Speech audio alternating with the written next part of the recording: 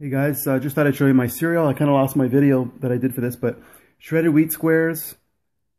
I put raw oats in here. I put uh, strawberries, blueberries, sliced banana, and I even put hemp hearts in there just to get some extra protein. Hope you like that. Hey guys, it's Will. All right, so this morning I had cereal. I'll uh, show you that, but um, for lunch I'm having a burrito now. I did a workout, a full body workout, so I do three times a week, every other day, give myself a chance to rest in between, and uh, mostly compound movement. So probably burning a bit more calories than normal. And I'm also gonna do some walking and, and that, maybe some jogging um, on days off or even after the workout. So, um, and because of the weight training, even though I don't worry about protein that much, there is a chance that you know the, the protein will be fairly low if you if you eat like especially rice and potatoes. Um, they have one percent or so. So if you saw my discussions with David Goldman, registered dietitian, um, one of the ways that you can get a bit more protein is to eat beans, legumes, chickpeas, pinto beans, black beans. Um, it's in all sorts of stuff even oats, wheat, like bread actually has quite a bit of protein as well. So anyways, first thing you want to do is probably get a whole wheat uh, tortilla wrap. Now, Ezekiel is probably one of the best, healthiest ones. They're a bit stiff, so you probably want to steam them a bit just to soften them up. But um, see what you can do as far as what's available in your local area with the in the bakery area, whatever that you have. Um, if they do put a bit of oil, it's probably pretty minimal and, and it lets it be a bit more flexible. So even though it's a no oil diet, that's like mostly pouring oil into, uh, you know, stir fries and, and, and a lot of oil in restaurants and in hidden in various canned goods. So personally, at this point, I wouldn't worry if there, you know, if you have to get a tortilla. It's not like there's tons of oil in it, but um, Ezekiel Sprouted whole wheat, uh, whole grain is probably the best way to go. If you want to do a lazy approach, like you can actually cook up a whole burrito content with like fried onions and green peppers and all that. But if you want to do a bit of a lazier approach, um, and of course you can put a lot of things in a burrito. So this isn't like a exact recipe or what you should follow exactly, but one of the key ingredients is going to be some kind of pinto beans. So you can create, you know, cook your own beans, mash them up. You can buy canned beans or different options here. But in Canada, we have this um, refried pinto beans. And I showed it in my uh, last video on my grocery haul. This is um, got pinto beans, water, jalapeno peppers, green chili peppers, salt. So if you are watching your salt, um, sometimes you might want to make your own or find a low salt or no salt version. Now calorie wise, this is 230 for a 250 milliliters. This is for about 400 milliliters, so um, not quite double. So it's in the range of not even probably 400 calories. So you can eat a whole can with some other stuff and it's not even going to be that big a deal. So um, I've got corn and then I've got some leftover basmati rice. If you have brown rice, that's great. Um, salsa, extra chunky. This is what I like, President's Choice. It's hot.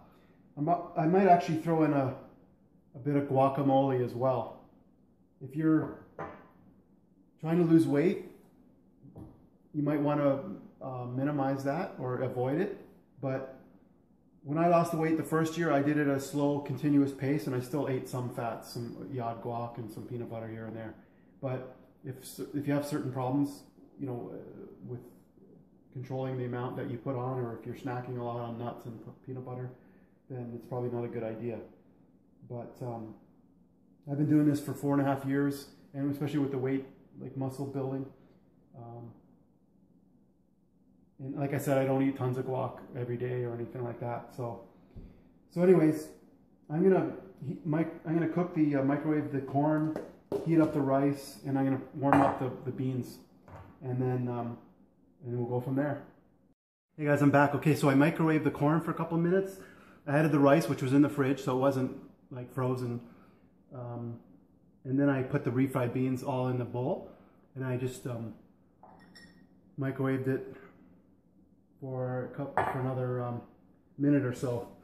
And um, so I've got my tortilla, got the refried beans mixture with, and then I topped it with salsa and some guacamole. So I put it a little bit closer to one side. I probably put too much in this, but um, so it's a little bit, you know, closer to the one end of the tortilla. And um, then I fold this part over. Hmm, this is going to be tricky.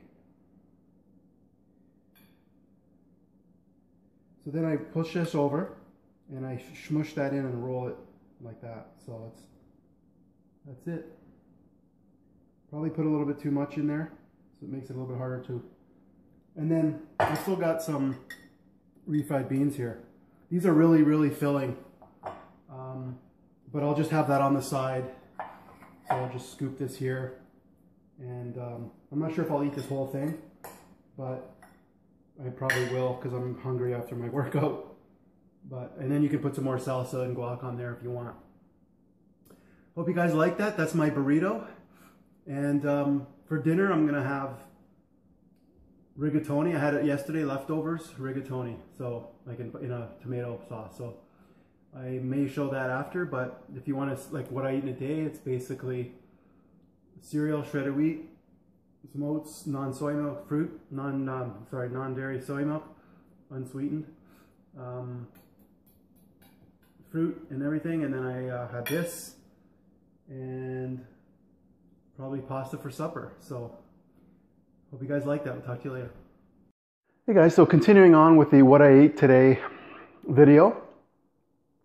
I, uh, I haven't eaten supper yet, but I'm gonna have this leftover rigatoni. And um, it's really good. What I do is I fry up onions and garlic and green peppers. That's kind of the base. Throw in some frozen kale or spinach, you know, chopped up, or you can use fresh spinach, whatever. And that shrinks up. And that's kind of the base. A little bit of water if you want in the, uh, in the pan. And then um, for the sauce, I use crushed tomatoes, a big can. I use a can of tomato paste and a can of fire roasted tomatoes. Put in some Italian spice. If you want to put a bit of heat, you can use red pepper flakes. And um, and that's and then I cook that for a while. And obviously the rigatoni, you can use different types of pasta. But um, yeah, that's my pretty much my what I eat today. And um, hope you guys like this. Just want to help you out with ideas and stuff, but it's really simple and tasty stuff. So hopefully you don't stress out too much. I just provide these uh, videos so you know I can just show you what I eat. It's been four and a half years or so now, and uh, just steady as she goes. Really amazing comfort foods, and and hopefully this gives you some help and guidelines on what you can eat too.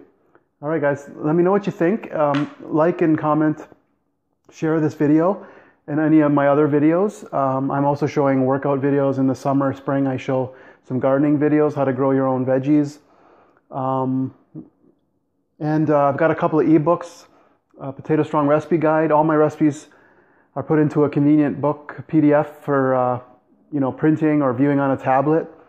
And um, there's also a Starch Plus Diet Guide, which is all my best advice on getting lean on a starch-based diet and also um, some enhancements that if you want to make uh, once you get a handle on this and, and get lean, some changes and tweaks that you can make to your to the diet. So hope you guys like that. Talk to you later.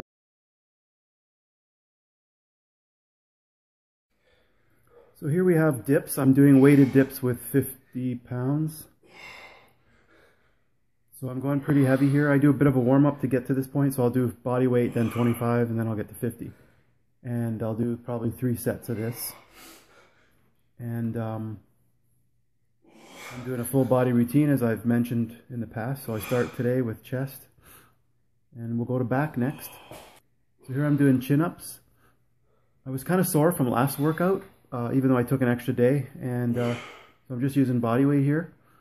And if you want, you can do some negatives after, which is just lowering yourself down if you, uh, if you can't make it. So hope you guys like that. See you later.